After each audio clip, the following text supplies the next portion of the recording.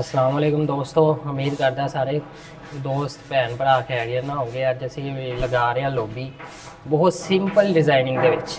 ਮਾਸ਼ਾ ਦਿਖਾਣੇ ਆ ਇਹ ਆ ਦੇਖੋ।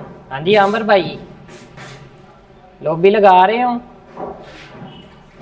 ਵਾਹ ਜੀ ਵਾਹ ਕੀ ਬਾਤ ਹੈ। ਕੀ ਬਾਤ ਹੈ ਭਾਈ। ਉਹ ਬਸ ਕਰ ਦੇ ਅੰਬਰ ਸੈਨਾ ਬਸ ਕਰ ਦੇ ਨਿਯਮ ਬਤਾ ਉਹ ਬਸ ਕਰ ਦੇ ਓਏ ਬਸ ਕਰ ਦੇ ਨਿਯਮ ਓਏ।